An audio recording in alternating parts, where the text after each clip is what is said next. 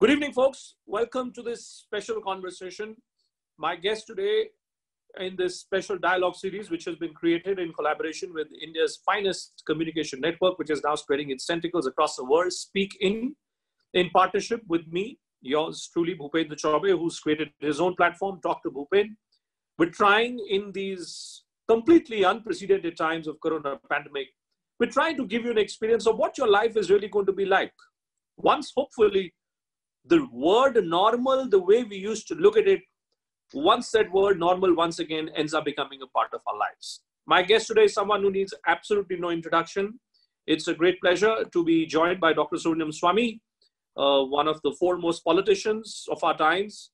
I describe him as a politician who would have chronicled an entire life story of India as a nation. So, good evening and welcome, Dr. Swamy. Hope you're safe and sound firstly, sir. welcome. Uh, thank you very much. Uh, look thank forward you. to this program. Thank you. Thank you so much, sir. Let me just, uh, you know, let me just update you and let me brief you on who are the audiences today uh, yeah. who, who, are watching this uh, this webinar. These are some of the topmost uh, industrialists and topmost business houses from across the state of West Bengal and, and other northeastern states. this program, of course, will also then be shown to a much wider audience when we put it out on our respective platforms. So pretty much you have a global audience today in front of you, which is being led by this uh, by this chamber, by the Alpha Club, which is uh, which is based out of Kolkata. A lot of our, our friends who are watching this broadcast and listening to each and every word uh, that you're saying today, as I pointed out that uh, you know this is the Alpha Network, and, and they all have uh, well questions related to economy. But there are a lot of personal questions also because Dr. Swamy, the, the word is they, they, they want to understand the working of this government. Yes. So let me give you give it a straight up does anyone know how this government works, Dr. Swamy? I know how it works. There's only one minister how? in that government, and that is called Manmo- uh, Narendra Modi. Well, everyone how can you, how else, government work everyone like else uh, doesn't have the the freedom I enjoyed as a minister. Is I decide hmm. something, sign the file. If it was a matter of uh, national security, it would go to the PM.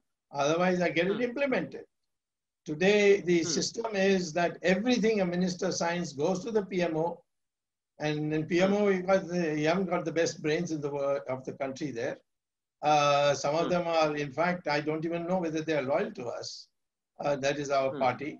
And uh, uh so, uh, you know, uh, where is it? Look at, just take an example. In March middle, Nitin Gadkari announced that he had had a conference and decided on a a pro, uh, you know, a, uh, a, stimulus program for MSME and the amount of money necessary. It went to the finance hmm. ministry. It's still lying there. And poor hmm. Gadkari is cornered everywhere by the press. What happened to him is it's coming, it's coming. I just had to talk with the prime minister. Now, that's hmm. not the way. There must, this government has, uh, you know, we are very happy with uh, Narendra Modi as a prime minister. Uh, we were sure that he was he'll be a tough guy and all that, uh, not uh, this uh, adjusting type that uh, Atal Bihari Vajpayee was. And we were quite uh, all unanimous in wanting him as prime minister. But the hmm. question is there has to be decentralization of decision making, and that's not taking place. Hmm.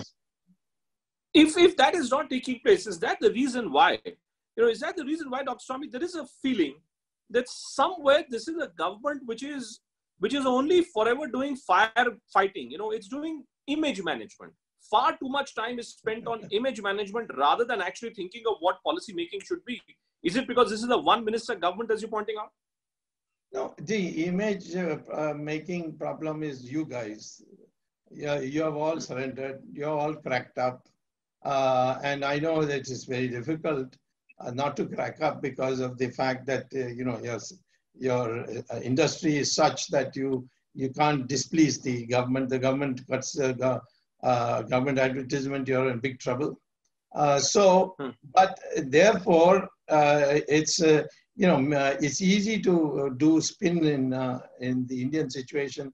the extreme case was the emergency, but today hmm. also there's a lot of spin, and you know in the economy you see every time there is a projection that the growth rate will be 7% and you end up with 5 and there is no accountability. Hmm. The problem is there's no hmm. question. You said this on this hmm. and this date, then didn't happen. Why? Please explain. Nobody puts the minister to such kind of scrutiny. But then look at look at, look at what one of our viewers is talking blame the government.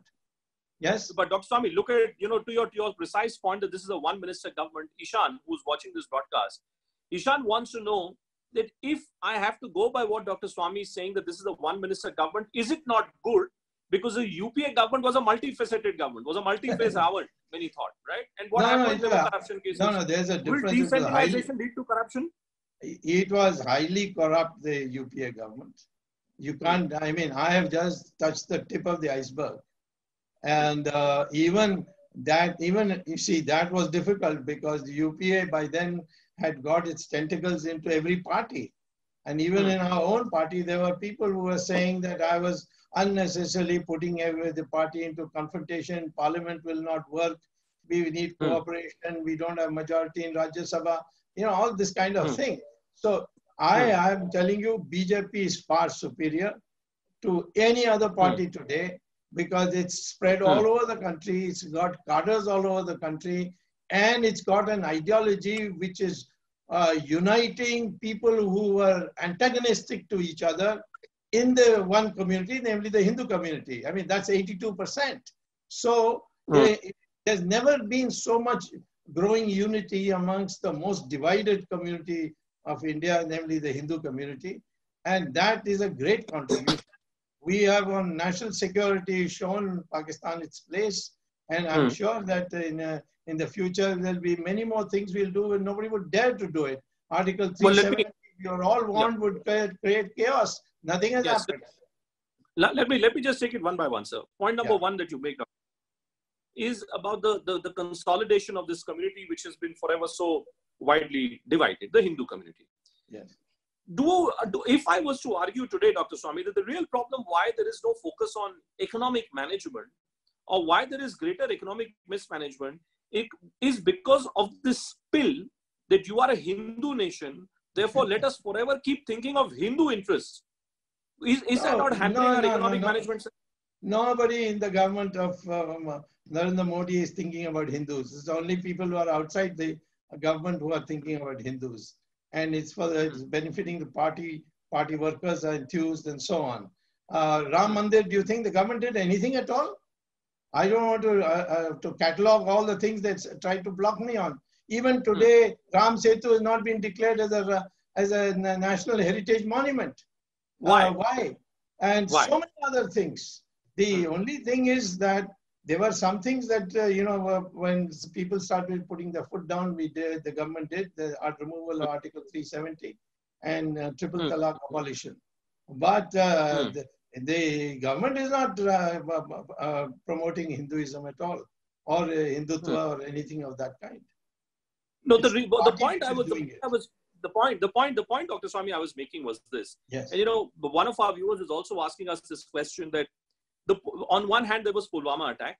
You know, you yes. yourself pointed out that we've shown Pakistan their place, all very well, absolutely fine with that. Yes. Yes. But I get this sense that this is a government which is spending way too much time only and only hyperventilating about what you describe as an ideological case or what could qualify to be a national security case. Is there enough scrutiny happening of this government or is enough focus being given on what will happen to India even after we were to come out of this COVID scenario? No, because I don't think that anybody in the government has either got the voice or if he's got the voice knows anything about economics. Take this uh, hmm. Prime Minister's uh, uh, announcement upon getting re-elected that he will have the uh, or 5 trillion uh, uh, uh, the $5 trillion economy by 2024. That means hmm. had at that time two and a half trillion. That means doubling uh, hmm. in five years. Doubling in five years means 14.8, uh, 14.4% per year. Hmm. Even, even we have not crossed 10%. Where is the question of 14.4% per year for five years every year? Hmm. So there's simple arithmetic. I hmm. wrote a prime minister letter that please don't go on saying this. But uh, hmm. I don't know who people told him, no, no, this Swamy is always coming up with all this. Uh, hmm. But uh, he kept on saying it. And it hmm. became, uh, you know, uh, in people who knew the economics and you knew how to do make calculations. They were all sneaking away, but uh, nobody pointed this out to the prime minister. So let me let me give you a straight I, maths. Let me give you a straight maths. No prime minister is expected to know economics, but he must delegate authority to people who can who know economics and can stand up to him and tell him this has to be done, and hmm. this is the reason why it no. has to be done a lot of questions. Ishan is asking this question will, about uh, decentralization leading to corruption. Ambarish Bharech is saying, in our view, in your view, how the Indian economy shape up post lockdown? Everyone is worried about the economy, Dr. Swamy. Yes. Therefore, I, you know, let me let me give you a simple maths. Yes. Two lakh crore is a special package, sir, which has been announced by the government, uh, and the, the the the deficit in terms of GST collection over these last two months itself is eight lakh crores. Right. You are looking, sir, at a straightforward scenario where Indian government is down by 10 lakh crores. So, is there any view? Is there any view where maybe more, maybe more? Is there any view where this money is going to come from, sir? Listen, this is the exact approach to economics, which I think is the most uh, retrograde and reactionary approach. Uh, this is not economics. This is uh, accountant's uh, mentality. Where is you the money going to come? You no no. You just I explained to you who you just see what's your problem today. Hmm. All right, it is now universal, and I'm sure all the industrialists sitting there in in, in the in, in listening to this Alpha Club. know that we have a major demand problem. Hmm. All right, so I say, how do you uh, generate demand? Put money, uh, money, cash into the people's hands so that they hmm. can go and buy. Uh, and how do you do that? Well, you if you are in this kind of crisis situation, you uh, hmm. start building roads you uh, and, and, print notes and give it uh, hmm. don't go over in fact you see uh, many of the facts are not known to the public what did the hmm. banks do they found that all these npas they were all getting prosecuted so they put the money in what is called a retro um, uh, retro repo uh, or reverse repo reverse repo rate uh, reverse repo rate of 3.5% interest. And they put the hmm. money. When uh, uh, at the beginning of January, we had 40,000 crores of bank money in the Reserve Bank. By, hmm. by 15th April, it became 7 trillion rupees. And now it's 8 trillion rupees. Take that out and spend it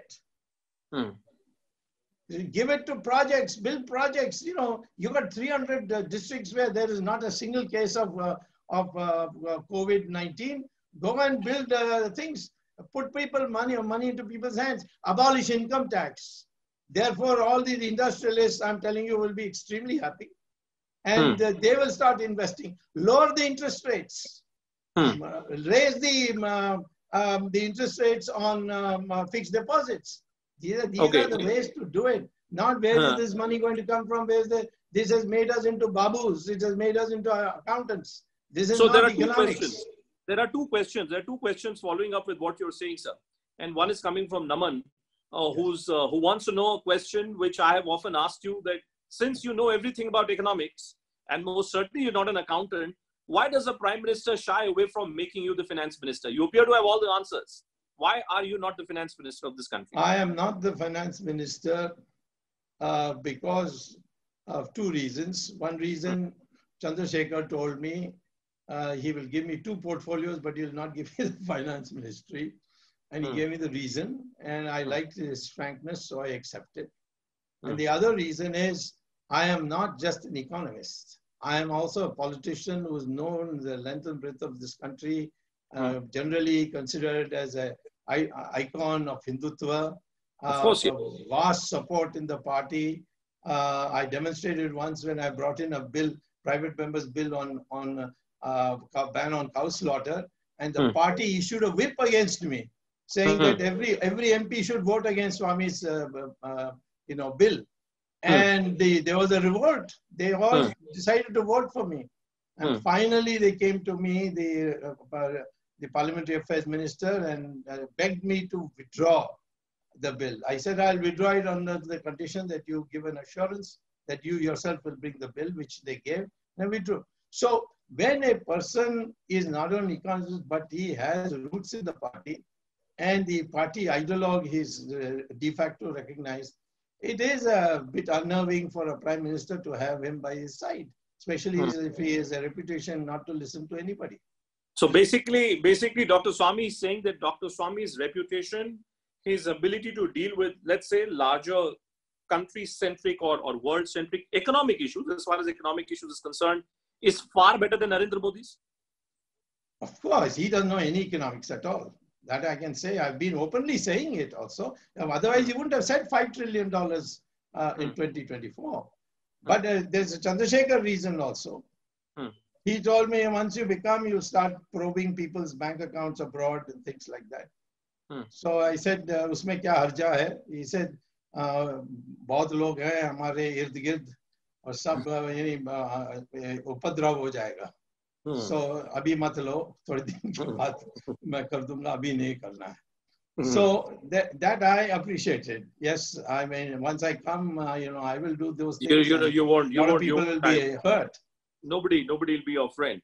But look at the look at the counter side. Look at the counter view to this uh, dr. Swamy. And uh, yes. again this is the question coming from one of our viewers who, yes. who wants to know that on one hand Subramanian Swamy believes narendra modi knows no economics and on the other person, who Subramanian Swamy often refers to as Buddhu, is is going on and on, you know, doing all these conversations about well about you know with people who I may believe are, are top economists, but again, your view about Abhijit Majumdar may be different, sir.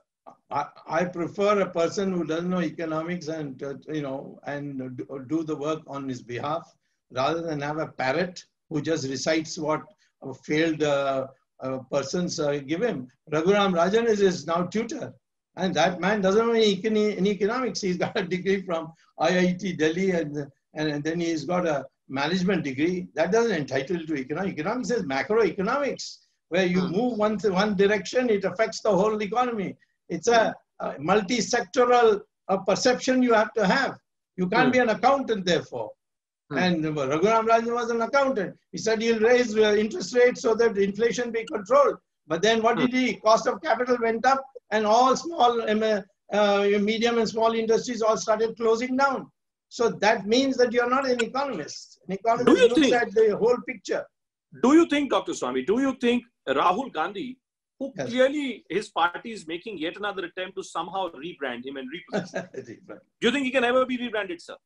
The country as a whole down to the ordinary worker in the landless worker in the village today thinks that this party is a foreign party. It's not a Bharatiya party. Hmm. They have they are responsible for this. They are themselves responsible for it. Hmm. And uh, today the foreignness of Congress will never bring it back. It has to be a coalition of other parties, you see. That can be a challenge if at all. If at all. But, but in my opinion, the because of the cadres of the RSS, the ideology of the BJP, I don't think it's uh, we will lose 2024 or 2029. But then, Dr. Swamy, you know, uh, that, uh, I know you, you you never forget anything. You have an elephantine memory. But perhaps you're forgetting about the fact, sir, that uh, just in 2018 end, we remember what had happened where the BJP ended up losing three states. Three so states, do I then yes. understand that the Congress oh, is good enough oh, to win oh, states but not the center?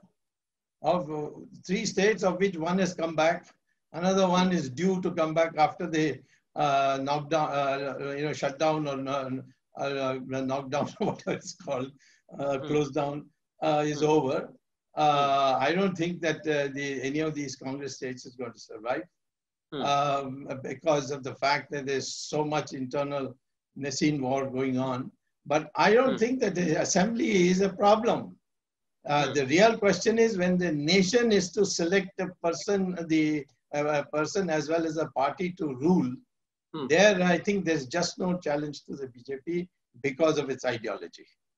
So let, let me let me let me break it down. Do you do you anticipate there is is there anybody on the Indian political horizon right now much like you know we say in, in in in economic terms crisis produces an opportunity as well and adversity produces an opportunity. So let's look at it in a political prism sir. Is there anyone in the political matrix according to you who could be a counter to prime minister modi today? You see this india is a very strange place. Uh, um, people used to say after nehru who? Hmm. if somebody at that time said lal bahadur shastri everybody would laughed. In fact, when he took oath of office as a prime minister, they all started laughing. Chidiya ko kahan jakar bitha diya, you know, all that. So, hmm. but he turned out to be super. He brought in uh, uh, Green Revolution. He hmm. taught Pakistan a lesson. So, you know, therefore, I don't think we should speculate on that. If there is a need, the country will uh, automatically throw up somebody whom you today don't think of as, a, as an alternative but he hmm. may, at that time, in that situation, become an alternative. Okay, another, let me take another viewer question, sir. This is again Naman who's asking you, and this is a rather interesting question in the context of us trying to figure out whether there is a political alternative. Yes. You, Dr. Swamy, have often taken very strong positions against minorities. Uh, yeah. Uh, and he's quoting one of your statements where you said that if Muslims are more than 30% population in any country, it poses a threat to that country. Yes. Therefore, you, yeah, so therefore, therefore, do you believe do you believe the equation or the lack of it today which exists between the hindu community and the and the muslim community today how does it augur for india's future 20% of india's population do we make them feel marginalized do we tell them that listen you all are second grade citizens First of all, I never said they are second-rate citizens. No, I'm asking you. I'm asking you. I'm asking no, ma, listen. I one of my daughters is married to a Muslim, and they are we are live in harmony. My wife is a Parsi. She has never had any problem. They're the smallest minority. Uh, I have a, a sister-in-law who's Christian. So I, I, what is my ideology, which the Muslims understand, they come around. For instance, on the Ram Mandir issue, I played a major role in telling the Muslims that this is a court judgment, you have to accept it. This is the Ram, uh, even uh, the great poet of uh, the Muslims that called him Imam Hind, and hmm. if you lose in the court, you should accept it. Hmm. Otherwise, hmm. it will be a problem. The, hmm. the ideology of Islam that is given, given in Hadith and Sirah by Muhammad himself says, if you are if you are in control of a country that is Darul Islam, there is no room for any minority. Hmm. And I can quote you from the Quran itself, uh, we'll leave alone Hadith and Sirah. Hmm. Then he says there is a Darum, Darul Harab, which is India where. Muslims are not in power, they are not in majority.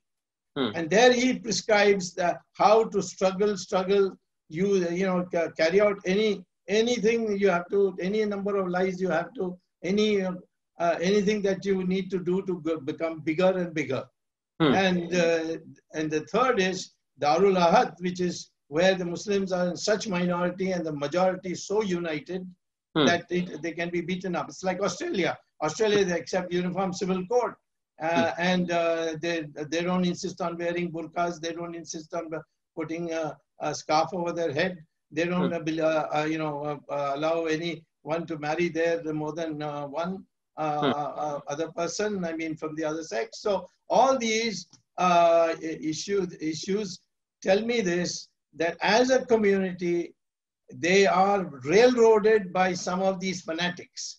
Hmm. So I would tell the in the Muslim community, you're one of us because the DNA studies say that your DNA and my DNA is the same, which means your ancestors were also from this country. So we hmm. are part of one family, except that don't try to make distinctions which will make you closer to, uh, to the Arabs by putting, uh, having their beards and their dresses. Uh, you know, you culturally, you are Hindus, but religiously, you are Muslims and this country has respected religions of other, other religions. The Jews came here, we protected them. The Parsis came here, we looked after them.